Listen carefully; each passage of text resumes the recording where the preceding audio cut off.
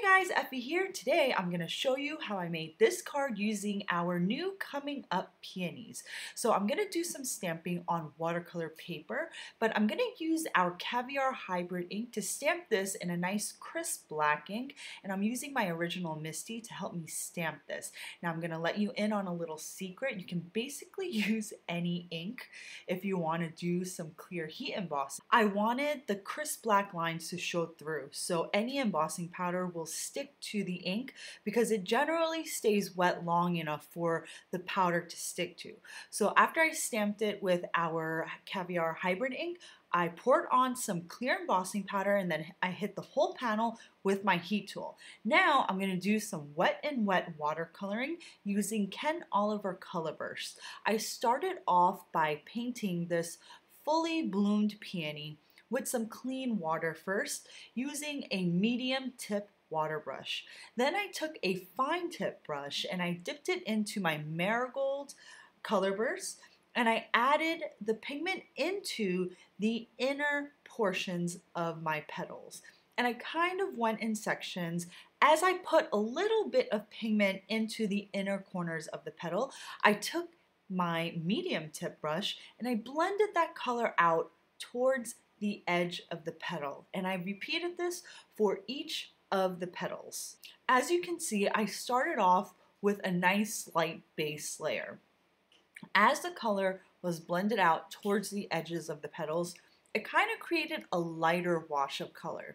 Now, I really like intense bright colors in my florals. And the great thing about Color Burst is that you can achieve intense and vibrant looks with just the one pigment. So I go back and I added some more marigold color bursts. And after I was satisfied with the amount of concentrated marigold, I went ahead and added some peony color bursts to some of my petals to add a two-tone look to some of those petals in the foreground. Now, after I blended a little bit of that peony out in some of the petals, I went ahead and added a third color to my petals. I used lemon yellow. So I get this really pretty three-tone peony in my project today. Next, I'm just going to repeat the process for the larger peony. I'm sorry, not the larger. This is a smaller peony. So I wet the entire area of this smaller peony with clean water and then I dropped in a little bit of marigold to the inner portions of my petals. After I blended some of that marigold out, I added a little bit of peony to some of the petals and I actually uh, add some lemon yellow to this bloom as well. For the three smaller buds in this uh, coming up peonies cluster, I only use the marigold and the peony because there were smaller images and I just didn't think that I had enough room to add the third lemon yellow pigment to the surface area of these smaller buds. I apologize for the sound quality in this video. I know it sounds a little bit tinny and that's because I'm just using the microphone that's on my computer and I usually use my headphones and I cannot find them today. So I apologize for the quality today. I promise that with my next video, I will have better quality sound. So once I finish coloring in the buds, I'm just gonna go ahead and color in all of the stems and leaves using lime color burst. After I add in a little bit of the lime, you can see that some of the pigment is going out of the lines, kind of a in a crazy fashion, but not to worry because I will be die cutting this out so you're not really going to notice the outside of the line coloring here. After I added a little bit of lime to my leaves, I also added some Naples yellow. This yellow shade has a tint of green to it, so I really love adding it to my foliage when I paint.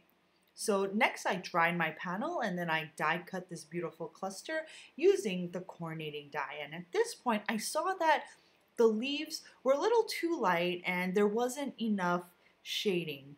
So I went ahead and added some Prussian blue to the inner portions of my leaves to give the leaves and the stems a little bit more dimension. The reason why I use Prussian blue is because I wanted to give my foliage a little bit more depth. And I find that if I add the Prussian blue to my greens, there's more depth of color because you can see that this dark shade in the leaves is kind of a blue, but then it blends into the green and there's just so much interest going on. Then let's say if I use another darker green or uh, the lime to add the concentrated color. So I like to mix it up a bit. There's nothing wrong with just adding a deeper concentration of lime if that's all you had, but I kind of felt like playing here, so that's why I added that Prussian blue. And also, if you're curious about my palette setup, I'm going to leave a link in the description box below where I walk through how I set up my Colorburst watercolor palette. So Next, I just set my cluster side to dry, and then I took our fresh linen background stamp and I inked it up with some of our crystal pewter dye ink, which is a really beautiful light gray ink. I, after I inked it up, I placed an A2 size white piece of cardstock over the stamp and then I used my Speedball Baren tool to help me get a nice crisp impression.